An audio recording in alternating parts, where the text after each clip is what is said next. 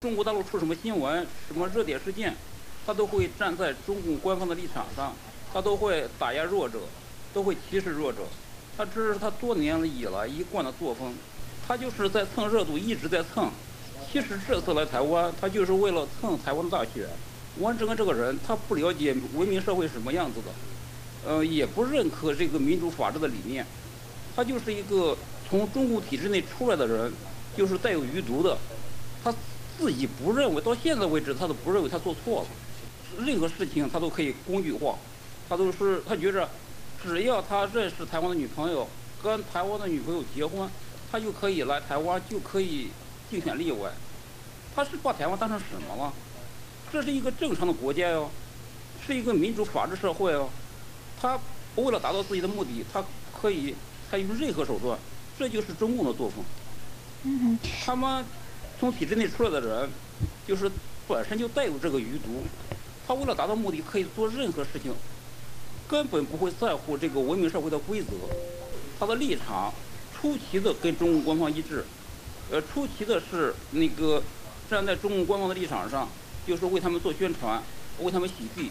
就是台湾各界，你包括这个蓝绿白，本来是非常对立的阵营，结果这次在对待这个人的态度上出奇的一致。我觉得他做了一件好事，他团结了台湾社会。是的，是的。嗯。其实，在多年前，在中国大陆的时候，在那个微博时代，我就了了解、注意过这个人。他是一个当时是体制内的人啊，就是前央视记者。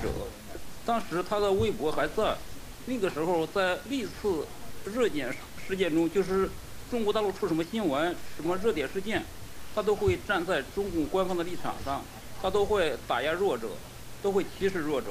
他这是他多年以来一贯的作风，就这么一个人，不但不是同一等级的人，而且不是同一性质的人。任志强是真正的是那个反习的反，怎么说呢？反体制的，呃，那个反专制的。王志安不是，王志安是一个一直想死贴体制的，是想往上舔、往上爬的人。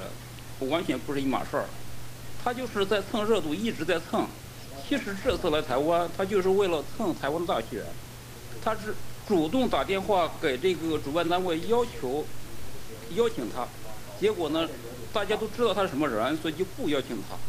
然后呢，其他人就是那官选团来，他就蹭热度，就说啊，这些人里面谁谁不如我，为什么不邀请我呢？人家知道他是什么样的人，所以不邀请他。嗯，他这次上这个脱口秀节目呢，这个节目本身就有问题，就是当时在那个画面中，他歧视残疾人，那些主持人和旁边的人哄堂大笑，就是是物以类聚吧。这次那个反映什么问题呢？王志刚这个人，他不了解文明社会什么样子的，呃，也不认可这个民主法治的理念，他就是一个从中共体制内出来的人。就是带有余毒的，他自己不认为，到现在为止他都不认为他做错了。这样的人，他应该受到一点教训。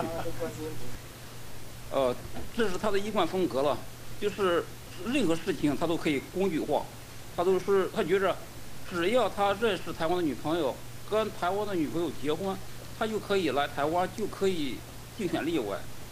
他是把台湾当成什么了？这是一个正常的国家哟。是一个民主法治社会哦，他为了达到自己的目的，他可以采用任何手段，这就是中共的作风。嗯他们从体制内出来的人，就是本身就带有这个余毒，他为了达到目的，可以做任何事情，根本不会在乎这个文明社会的规则。嗯嗯呃，就是对这个人呢，其实我了解的不是很多了，我只是对他有印象。对他了解比较多的是那个王亚军。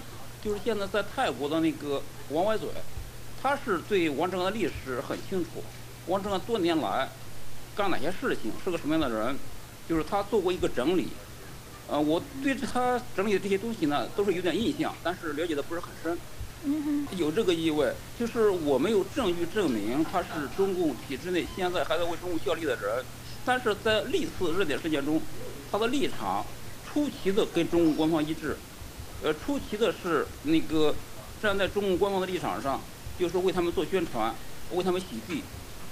嗯，就这么一个人，他的行为就是很值得疑虑。那个，但是你说他有没有受中国方官方的派遣呢？这个我没有证据。就是他有没有拿中国官方的经费呢？我不知道。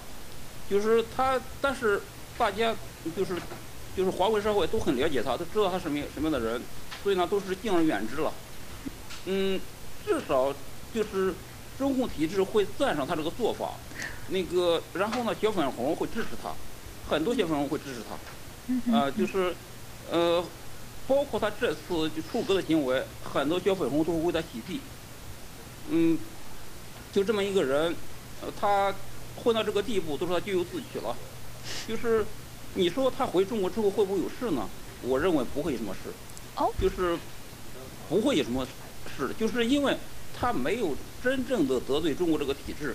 你说会不会受到一些象征性的惩罚？有可能，因为那个不听话的奴才也会被受到教训的，是不是？